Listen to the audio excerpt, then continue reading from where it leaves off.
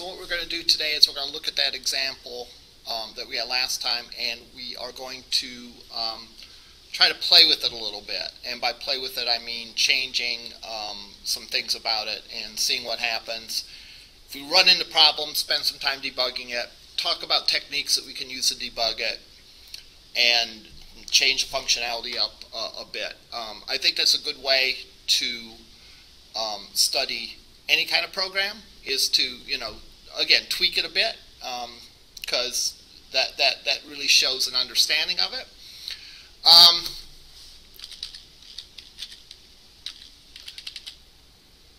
all Ajax um, pages will follow sort of that same formula. All right. Now, there can be infinite variations of exactly how it works, but the same sort of template of the client making a request based on some user action. All right? The server sending back the data, and then the client formatting the data. That's going to be the case in all AJAX interactions. You know, when we talked about the Google thing of, of the predictive search, where you type in a character and it shows you the four most common search terms. All right? The user action making the request, well, it's not hitting a button, it's pressing a key. So when you press a key, that request is made uh, to the, the server. It sends to the appropriate server-side script the characters that are in that text box. All right, so that's the request in that case. The response back from the server is the four words. Now, that four words can come back in a variety of different forms. It could just be a comma delimited file or something like that. Um, and then the page formatting that response is to make the box that shows those four words underneath it. So again, all AJAX things work in a very, very similar way. Um, I guess I've said user action. Um, if I can add one thing to that, um, another possibility is there could be a, a duration of time that passes. So I guess that strictly speaking, that's not a user action. But I'm thinking, for example, of uh, your, your Gmail account or your Facebook feed, how that automatically gets updated. Um, even if you don't do anything per se, uh, the trigger of that AJAX event would simply be the duration of a certain amount of time. So every X seconds, it runs out to see if you've gotten a new email, or it runs to see if there's been an update to something uh, in Facebook. Um, so that would be a little bit of an exception uh, to that. All right, so let's download what we had before.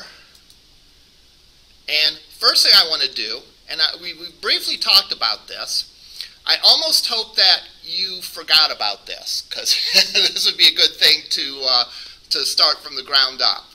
But um, we did briefly briefly talk about this, so um, we'll, we'll see what you remember and. Uh,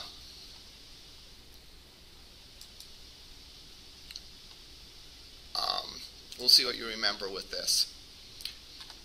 And what I am referring to is adding a new question. What we have to do to add a new question.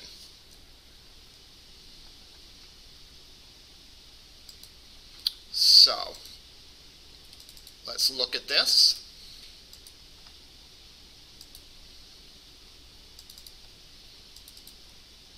And I'm going to open up two things in the editor. I'll turn a projector on in a minute. Actually, I'm going to open up three things in the editor.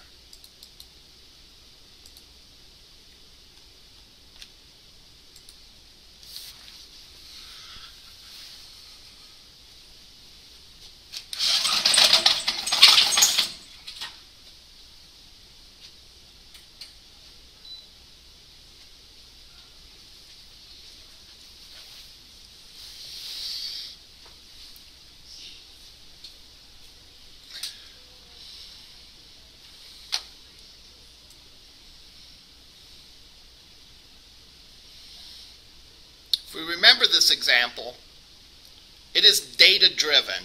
And what do I mean by data driven? I mean, things are not hard coded, but things come from some supply of data. Um, in some cases, uh, that data might be a database. All right, so these quiz questions could just as well be stored in a database somewhere. But since we don't really study database interactivity, we might have a little bit uh, about it the last week. Uh, but since we don't do that, the source of our data is an array, or actually two arrays. These two arrays contain the questions. And again, when we print the form, when we display the form to do this, we loop through the array. And we create the question by outputting the first array element plus the second array element. And then we create a text box for the answer. And we use the same array, which is a good thing, when the quiz is graded. All right, we loop through, we look at the answer on the query string. If the answer is there, um, or, or, we grab the answer from the query string, we grab the correct answer, and uh, or actually we calculate the correct answer, then we see if the user got the question right or wrong. All right, so in theory, we should be able to do this. I should be able to add a question to this and it should work.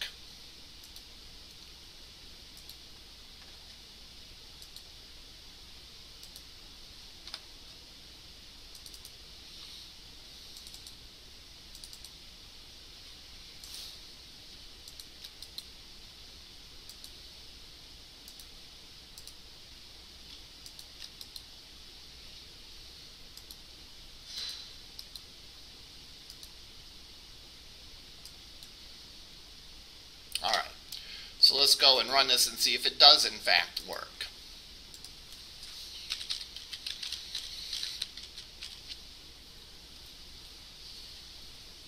Well, off to a good start, right? It shows the three questions. Uh, if you remember previous example that we looked over last time, there were only two questions showed. Now, does that work though? Let me put all correct answers and no, it doesn't seem to work. All right. Um, it gives me um, that that is incorrect when it's clearly correct. All right. Um, does anyone remember what the problem is here? Well, good. We'll whether you do or not, we'll pretend that we don't. All right. So how do we figure this out? All right. Well, there is, how we figure this out, there's two key things to test. Number one, we want to make sure that the correct request is being made to the server. All right? Uh, it's the client's job to make the request to the server. And if the client doesn't send the right data to the server, then of course we can't get right results back from the server. So that's the first thing I'm going to do is I'm going to check to make sure that the client is sending the correct request to the server. How am I going to do that? Well, you could do that a couple different ways, but the way I like to do is actually the URL variable contains the request that's going to be made to the server. I'm simply going to display an alert that shows me what that URL is. I know what the URL should look like the URL should look like this.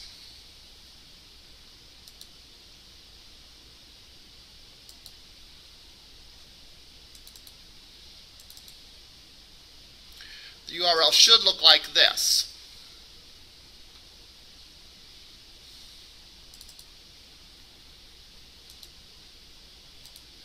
Should look like grade.php question mark, answer 0 equals whatever I've entered in there. Ampersand. Answer 1 equals whatever I've entered in. Ampersand. Answer 2 equals that. So that's what the URL should look like. All right? The URL doesn't look like that, um, then we got a problem. How do I know that that's what the URL should look like? Well, because I have uh, written the server-side script called grade.php, and I know it's expecting the answers in query string variables called answer 0, answer 1, and answer 2, if there's three questions. So answer followed by the number of the question, and we start the number of question at 0. So I'm going to go and I'm going to put a display in here, an alert, to just pop up on the screen, an alert box that shows me the URL that got called. So,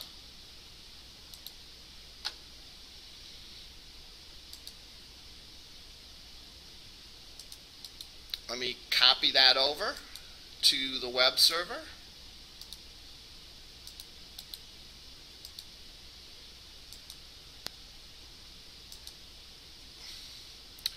And let me run it. So I'll type in all correct answers again. And look at the URL. The URL does not look like this. Grade.php answer 0 equals answer 1 equals answer 2 equals. The URL instead looks like this can't zoom in, unfortunately, and I can't select it. But I hope you can see it. It says grade.php, answer 0 equals 6, answer 1 equals 12. So it's leaving off that third question. All right? So right off the bat, there's my problem. All right? And I got it in a systematic way. Right? Um, remember that really uh, a point of concern is how the client and the server talk to each other. You know, is the client providing the correct request? Is the server processing that request correctly?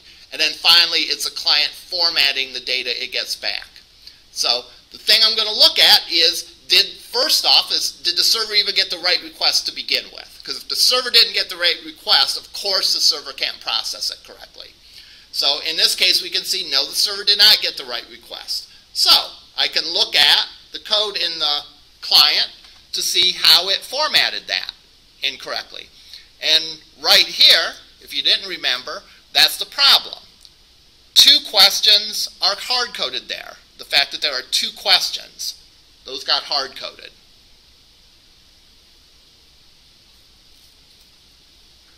All right.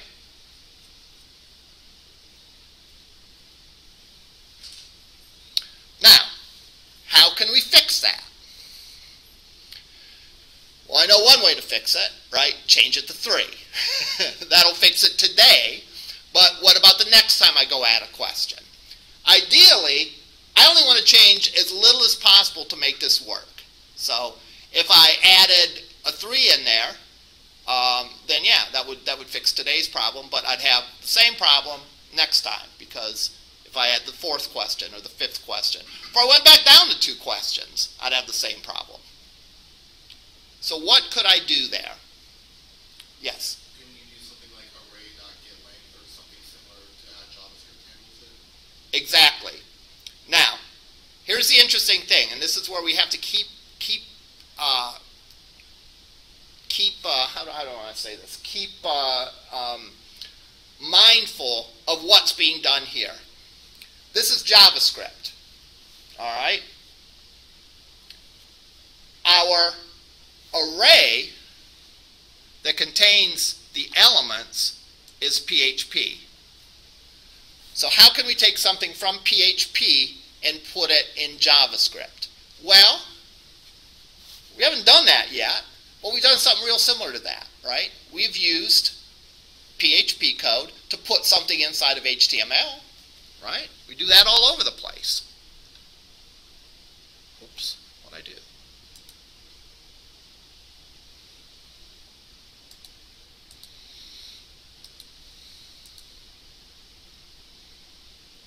All right.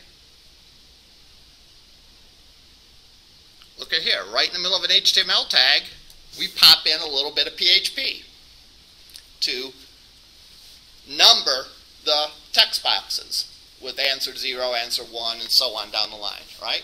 So can we pop in a PHP and output something into JavaScript? We absolutely can. All right? So here's what I'm going to do. The number of elements in the array are count. That's the variable that contains those. Count of the name of the array, addend. So I'm going to go here and right here, I'm going to pop in the PHP and I'm going to print oops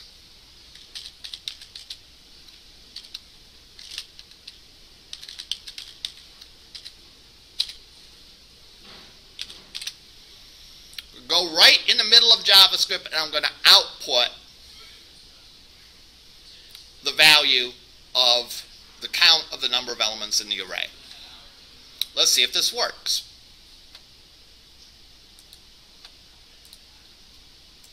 No reason why it shouldn't, but, you know, maybe I haven't thought of something or maybe I made a typo or something.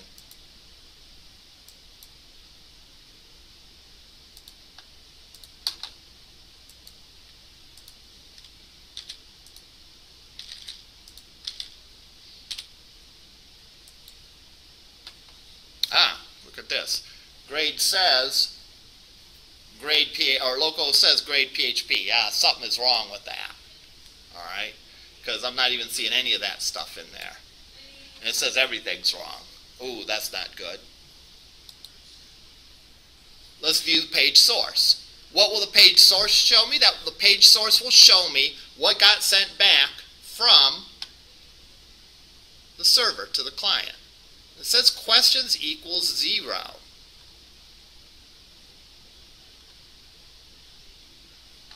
Well, that's not right.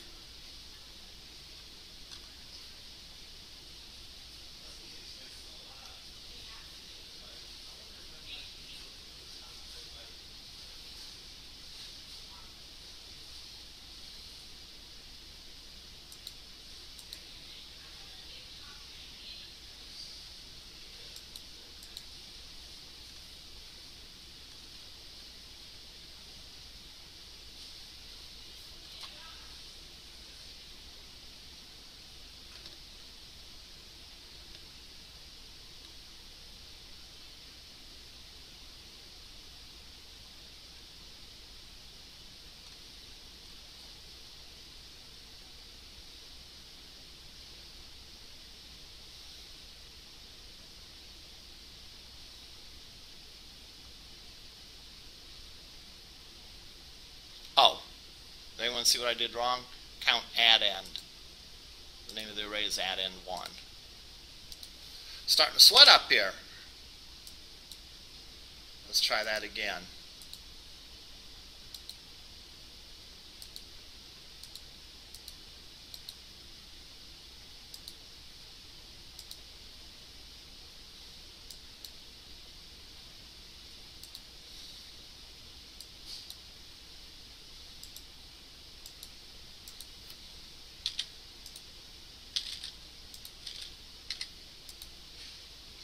Ah, now look what the is.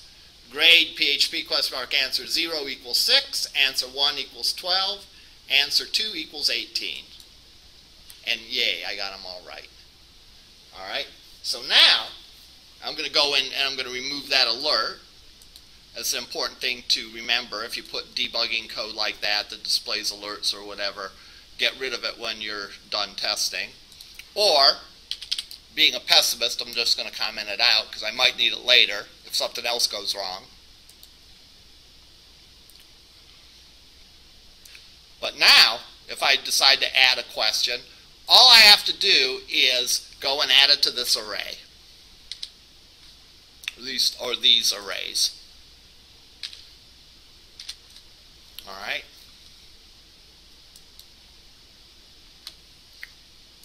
So now I have four questions. And all I needed to do is add the two things to the array.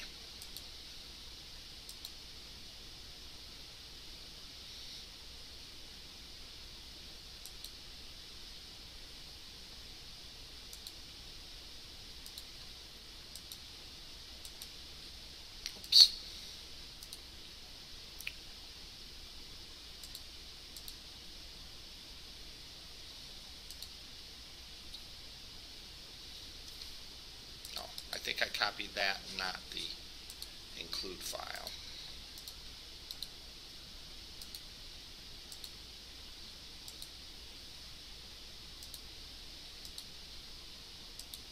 There we go.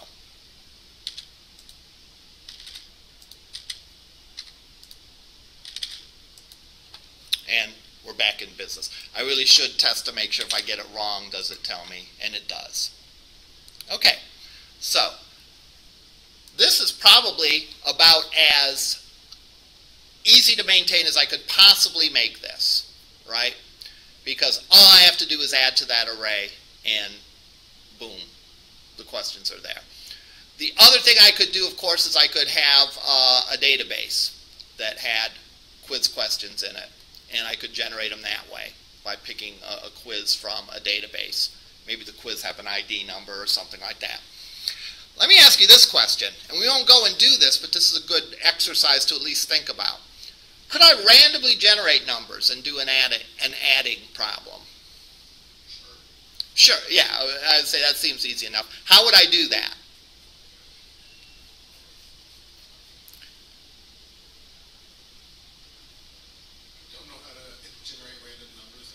Okay. Well, we, we can look that up. So there's, a, there's an instruction to generate a random number. Okay, so we generate our two random numbers. So we can say that 5, you know, let's say we generate 5 plus 3 equals, all right? My question is, that's not a problem.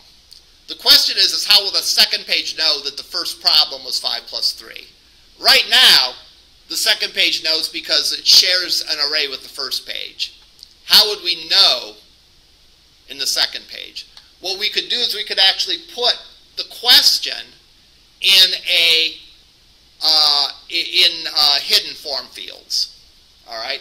What are hidden form fields? Hidden form fields are like text boxes, except they're not at all like text boxes. they're like text boxes in the, in the sense that they can hold data. All right, they can hold a value. They're not like text boxes uh, in the sense that um, they, they, are, they are hidden. All right, they, they uh, are not visible. Um, so, so you don't see them on the screen, but they still can hold data and they still can pass data from one page to another. All right. So what I would do is, as I was generating the text boxes and randomly generating the numbers, I would generate the, the, the numbers for the question and I would stuff those in hidden fields. And then those hidden fields would get passed from page one to page two. And I could pull the data out of the hidden fields, do the math, and display whether it's right or not. So we could make this uh, do that without too terribly much changes to this. All right.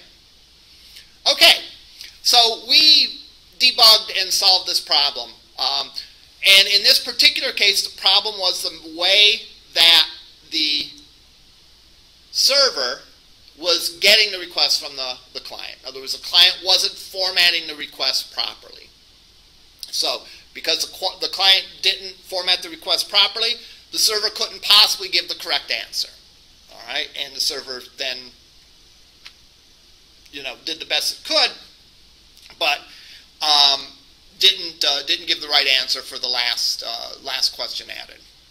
Now, it's not always that's not always the problem in Ajax. Sometimes the problem is with the server. Let's say I'll make a obvious mistake here.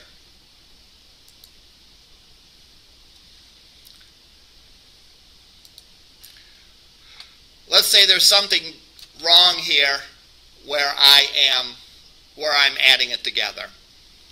All right? Just a dumb mistake. There's a minus sign instead of a plus. All right?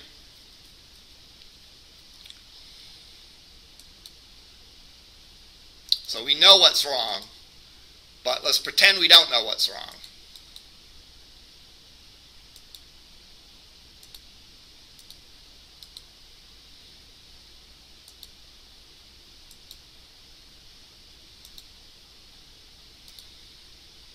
So we can go here and we can type in correct answers again.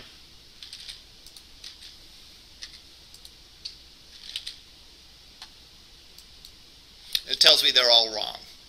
All right. Now, this could be caused by a couple different things, right? Now, we know in our case that I went in and I messed up the server-side code. So we know, you know, we had a spoiler. You know, we know that the problem is with the server-side code. But the problem really could be anywhere in the AJAX transaction. In other words, what if I, in this code here, where I am forming or creating the form, what if I misspelled answer or something like that? You know. Again, would be back to the difficulty of it not creating that request correctly. And therefore, um, the request would not get to the server correctly. Or, in fact, where we were a minute ago, when I spelled add end one incorrectly. It told me I got everyone wrong in that case, right? So, even though we know in this case that um, the server that's the problem, we wouldn't know generically because it still could be that we're making the request wrong. Well, we know we're making the request right because we put that alert in there and we see how the request is being made. If we're still having a problem, the problem could be at the other end. The server could be doing its job and sending it back, but there could be a problem in this code where it handles the response. Maybe, for example, I did the classic mistake of only having one equal sign instead of two. That could cause the same problem. So the same problem could be caused by many different symptoms or many different causes. So what we want to do is we want to isolate exactly which one of the components is incorrect. All right? So I'm going to I'm going to say I ran it through and I see that I'm making the query string correct to, to go to the server. So I'm going to eliminate the initial request as a possibility. How, do, how did I do that? Well, because I put an alert in and I saw that the request is being made correctly. I'm going to go in now and I'm going to actually type in the URL as it should be.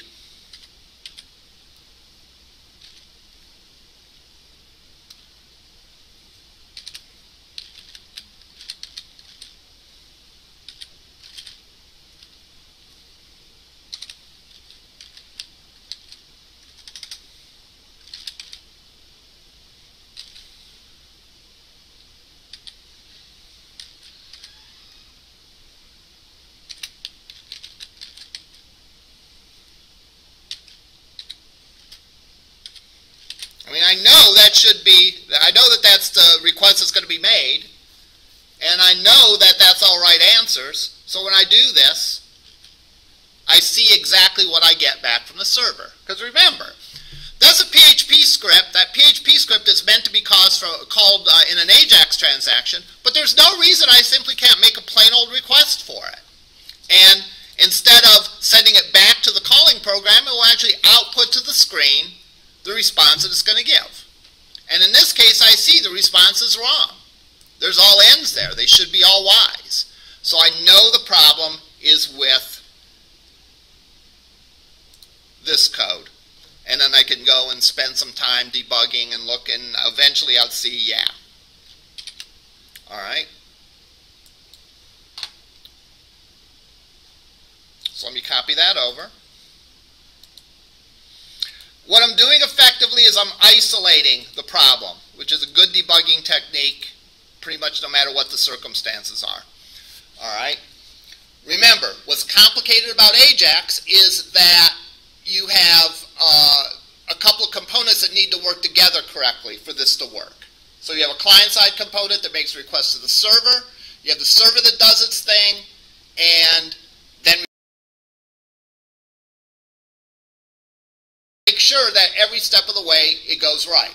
All right. First of all, there's a correct request being made to the server. Because if that doesn't work, then nothing is going to work. Okay, we've gotten that down, and we know that the client is making the correct request to the server. Now, is the server by itself doing the right thing? And how do we test the server by itself? We just type in the URL of the request, and we supply the query string variables manually by typing them in.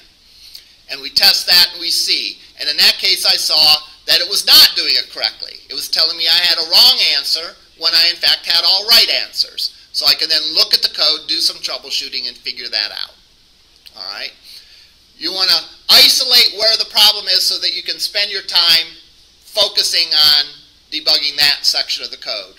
All right? Because otherwise, you're looking at the whole mess of both components plus the way they talk to each other, and you're not going to, you know, you're going to be very confused about where to even begin. All right, so the last thing that can go wrong is maybe we're doing everything correct, but maybe we're simply not formatting the response correctly. An example of that would be if I had a y here. All right, or if I had just a single equal sign, equals y. So again, we know what I did wrong. Shoot.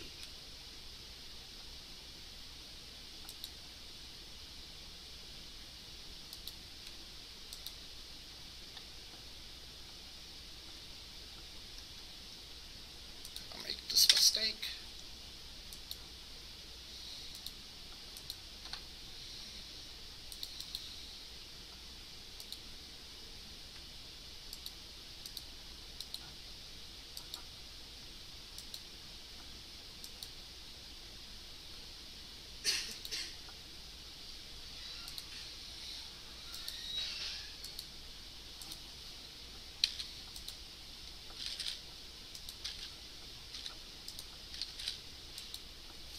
Tells me I got them all correct.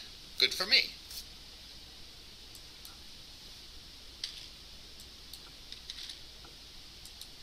Still tells me I got them all correct. Still tells me I got them all correct. All right. Again, that that partly goes into testing thoroughly. In fact, I should have made mistakes in the other iterations of this testing because just because it told me I got them all correct when they were all correct doesn't mean I'm done testing get some wrong to see if that works. So what's going on here? Well, we know the problem, right? I changed that single equal or double equal sign to a single equal sign. But if this was just happening, if this was the first error that we got and we didn't know what was going on, what would we do? Would repeat the troubleshooting things that we did so far. Is the client making the correct request? How did we tell that? We put an alert in there. Okay, we can look and we can see, okay, the client is making the correct request to the server. So, all right, that part is working. Is the server handling the request correctly? Well, we can go and run the server code um, by itself, supply the query string val values manually, and see does it respond with the right things. All right. The last thing I could do then is I could look and see, hey, the results come back in a variable called response text. I could put an alert here to verify that this code is getting back the right stuff. Because what could be going wrong? Maybe I'm not, maybe I named this function wrong, and maybe it's calling some other function in my code. All right? Or maybe I got this wrong. All right? And I'm not looking at the status when it's all done. I'm looking at the status partway through. There's all kinds of things that could go wrong, right? If, however, I display the response of the server, which is contained in this variable, and it contains the correct response from the server, then I know the problem is in this code right here. I know that I haven't called the wrong client name, client-side function name as a callback function, or I'm not checking the wrong status or whatever. So, we'll go and we'll test this and we'll see what we get.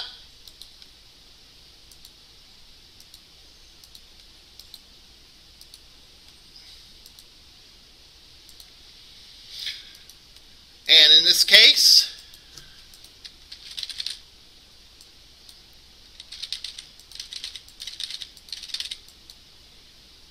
all right, I'm getting back all N's. So function wasn't being called, I wouldn't see this alert.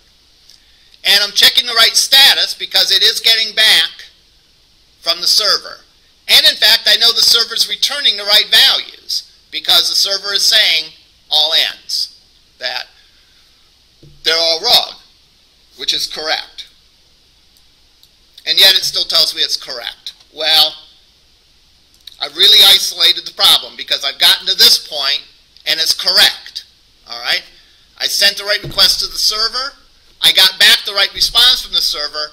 I'm just somehow not formatting it. So instead of looking at all this code in two different pages, plus some include files, I'm looking at this block of code right here.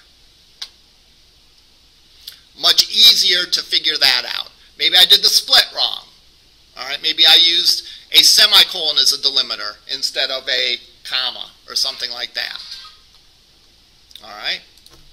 So I can go troubleshoot it. And in this case, I know what the problem is. Oh, that should be a double equal sign. Therefore, I can make that change and we're back in business.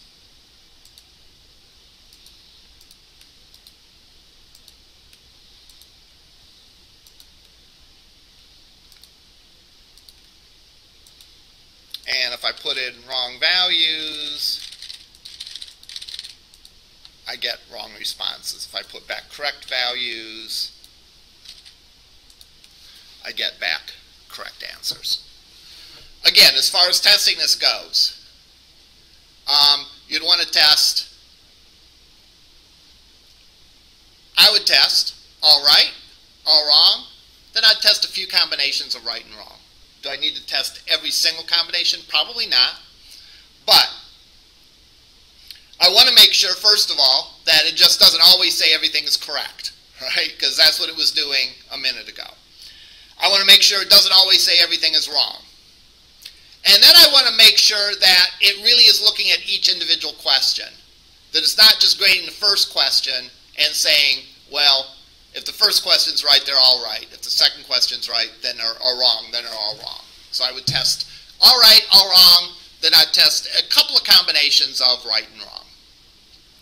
All right. The point that I'm trying to get is, again, in any kind of software where you have multiple components, and that's how software is written these days, right? That's how object-oriented software is written, where you have components, all right, that talk to each other. They each do their own job, and they communicate.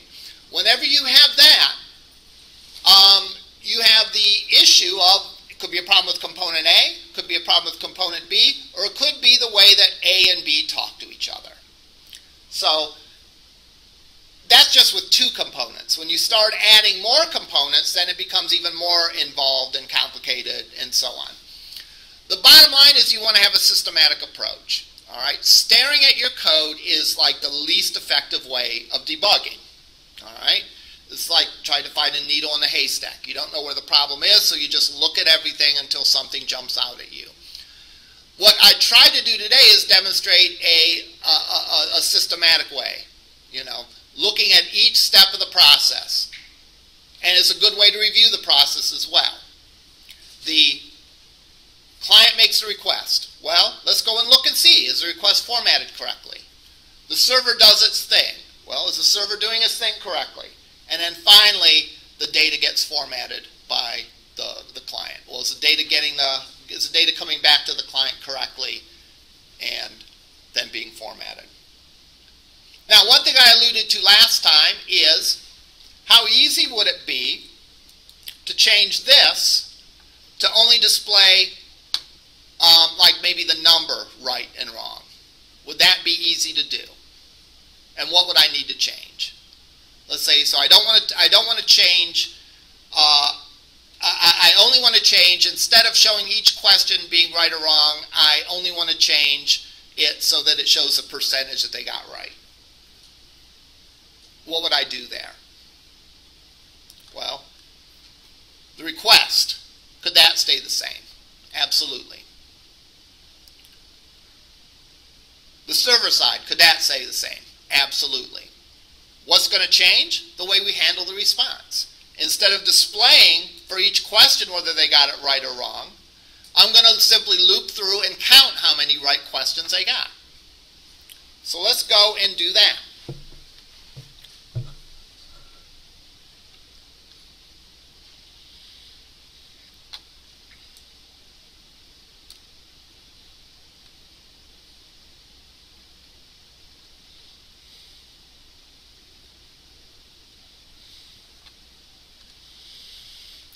Span on my page for percentage.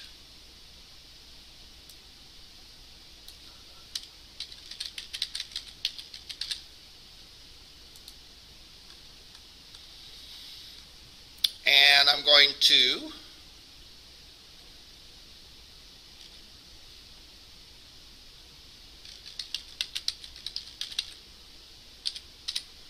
initialize question to zero, initialize correct to zero.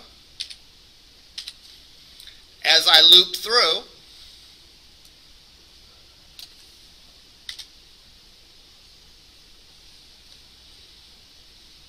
I didn't want to do that.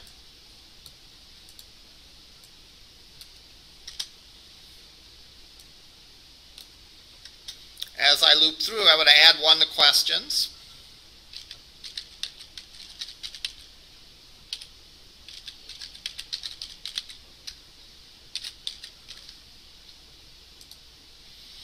If they got it right, I'm going to add one to correct.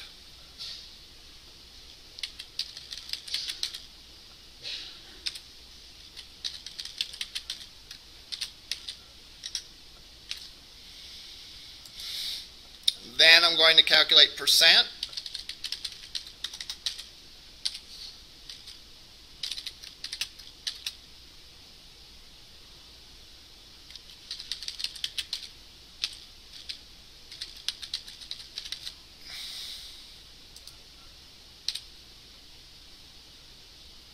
And I'm going to output that to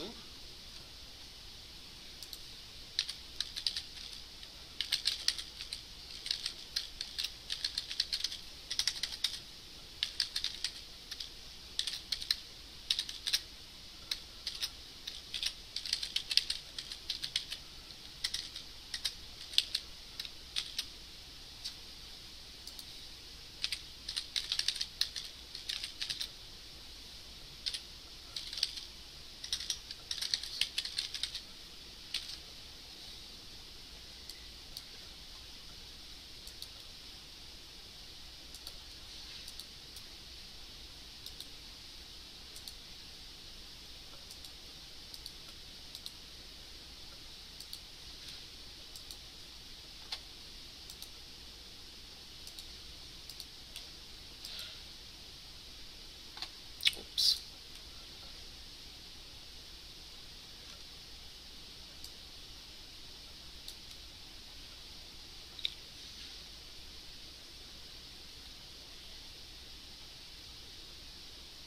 Oh, that should be after the PHP code.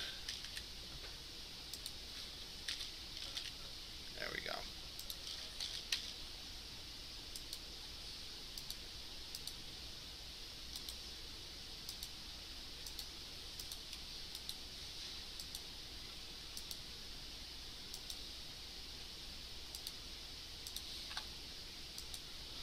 All right, so now I type in 6, 12, 18, 12.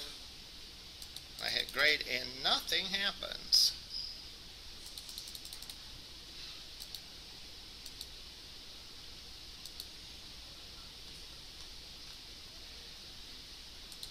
Now the other thing I'm going to do in my troubleshooting is I'm going to look at the error console.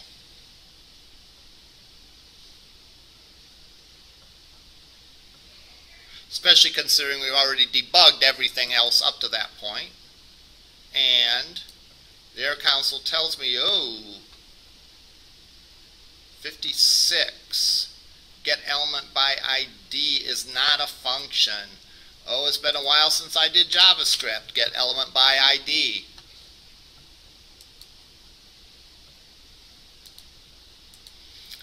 Um, I'm, grateful I made that mistake so that I can remind you to look at the Error Console as well. I'd done all my debugging on my code, other than that few lines I just added. So the error console told me what the error was with that. So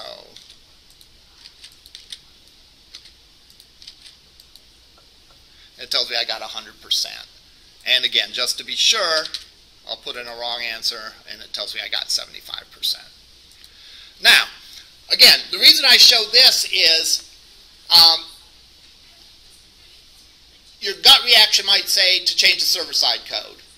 Instead of having the server-side code return each individual question right or wrong, to have the server-side code return a percentage. Not necessarily. Server-side code's responsibility is return data. And the, the, the more comprehensive the data that you return, you can always summarize it. So if I return the answer for each individual question, I can summarize that to tell me what the percentage is. If I did the other way around and returned the percentages, and then I decided I wanted to see each individual question, then I'd have a lot more work to do.